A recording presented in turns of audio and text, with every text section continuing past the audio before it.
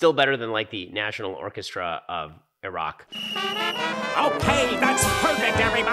Ever seen those videos? They play like "Hail to the Chief" when when the president arrives, and it's like the worst thing you've ever seen in your entire life. It's amazing. It's also like the end of the Music Man right there.